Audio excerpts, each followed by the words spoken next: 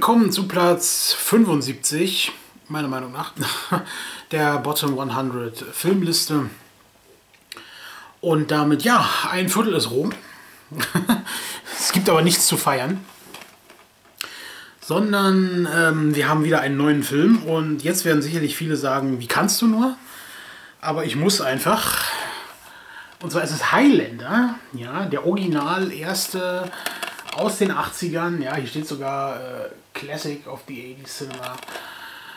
Ähm, ja, Highlander mit Christophe Lambert oder Christopher Lambert, je nachdem, wie man sehen will. Er ist ja eigentlich Franzose, also dementsprechend müsste er ja eigentlich französisch ausgesprochen werden. Äh, Sean Connery und Clancy Brown in den männlichen Hauptrollen. Äh, eine Frau gibt es auch, aber wie die heißt, weiß keine Sau. Was steht denn hier? Roxanne Hart, natürlich, wer kennt sie nicht? Ja, ähm, muss ich wahrscheinlich gar nicht viel sagen, weil die meisten kennen den Film ja. Ähm, kurz zusammengefasst, es gibt ein Geschlecht von Unsterblichen, die äh, offensichtlich zu Beginn nicht wirklich wissen, dass sie unsterblich sind. Und Connor MacLeod vom, vom Clan der MacLeods, einem Schotten, einem Schottenclan im Jahre 1500 irgendwann, 1536, ist zum Beispiel so einer, bloß wie gesagt, er weiß es nicht. Und in einer Schlacht stirbt er oder beziehungsweise wird er tödlich verwundet, aber am nächsten Tag hüpft er fröhlich munter drauf los und, und alle denken so, ja, der Teufel äh, ist in ihn gefahren oder er ist vom Teufel besessen und muss eben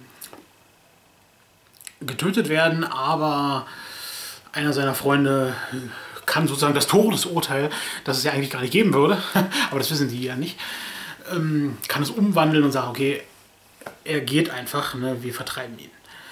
Ja, und äh, diese Unsterblichen, dann gibt halt noch viele andere von denen, die liefern sich, wann immer sie aufeinandertreffen, Duelle, bis am Ende nur noch einer übrig bleibt. Deswegen war der deutsche Untertitel, auch falls ich es nicht schon gesagt habe, äh, oder sogar der Originaluntertitel, wusste ich gar nicht, ähm, There can be only one, also es kann nur einen geben. Und das ist natürlich die Frage, wer ist das? Weil es gibt natürlich, wie bei allem im Leben, gibt es welche, die eher böse Ziele verfolgen und andere, die eher so die Guten sind. Ne? Und, und Conor McLeod ist, ich denke, da verrate ich nicht zu so viel, einer der Guten. Ja, und der ähm, kämpft sich so durch die Jahrhunderte.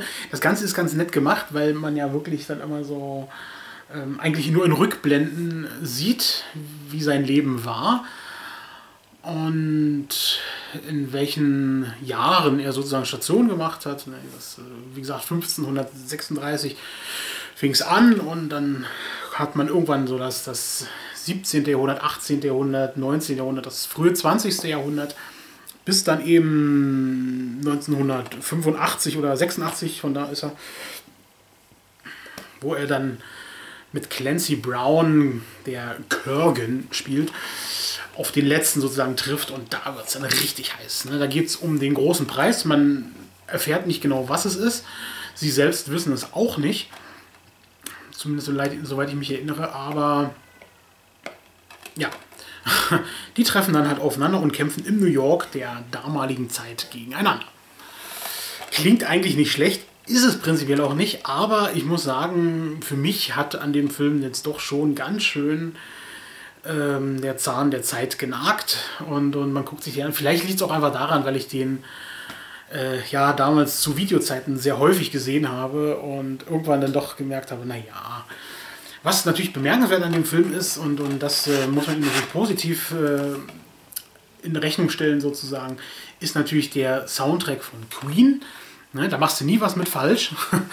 wenn du wirklich, wenn du es schaffst, Queen äh, für sowas zu engagieren und ähm, die natürlich dann mit vielen auch bekannten Liedern, da, also heute bekannten Liedern, damals war es natürlich für den Film was beisteuern, dann ist das schon ein großes Ding, zumal auch wenn Sean Connery zum Beispiel mitspielt, ich glaube, der Film damals doch eher ähm, ein B-Movie war und halt irgendwie den Nerv der Zeit traf und da ja, ich will nicht sagen, was lostrat, weil mir fällt jetzt speziell nicht Mir fallen jetzt speziell nicht so viele Mittelalterfilme ein, die danach kamen.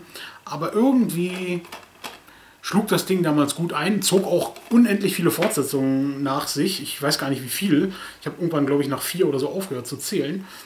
Es gab auch noch eine TV-Serie, die irgendwann in den 90ern kam. Ich habe immer so das Gefühl, diese TV-Serie wurde hauptsächlich auf Drängen von RTL produziert. Ich glaube, also der Film selbst ist ja, glaube ich, auch eigentlich, eigentlich ein eher britischer Film.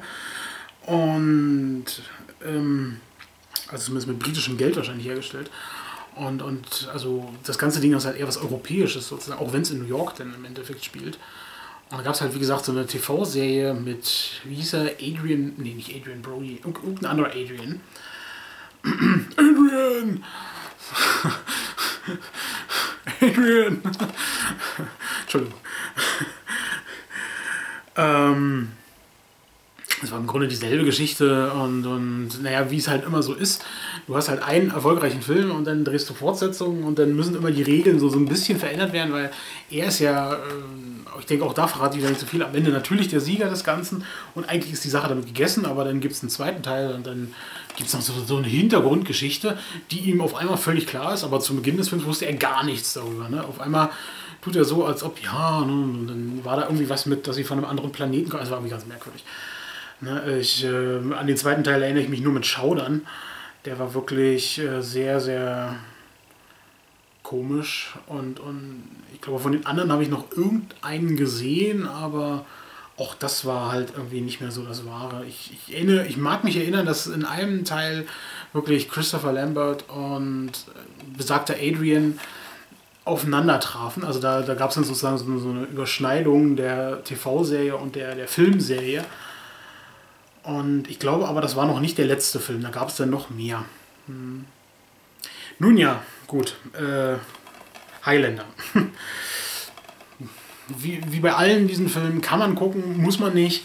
Ne, äh, ist, ist schon in Ordnung, aber ja gut, äh, ihn jetzt tatsächlich nicht kennen sollte und sich das Ding hier anguckt, also um eine Lücke zu schließen, guckt ihn euch mal an, aber äh, wie gesagt, ich würde jetzt nicht so, so, so ein Monsterwerk erwarten. Jetzt aber natürlich nicht, weil der weil man heute sagen könnte, na, es könnte man viel besseren Special Effects machen oder so. Das sollte man ja sowieso mal außen vor lassen. Man sollte halt immer einen Film betrachten in der Zeit, in der er gedreht wurde, was damals möglich war. Und ähm, viele Sachen waren ihm zur damaligen Zeit noch nicht möglich. Äh, so sieht man ihn halt auch wirklich am Ende, wenn er durch die Lüfte schwebt man sieht halt tatsächlich die, die Drahtseile, an denen er hängt.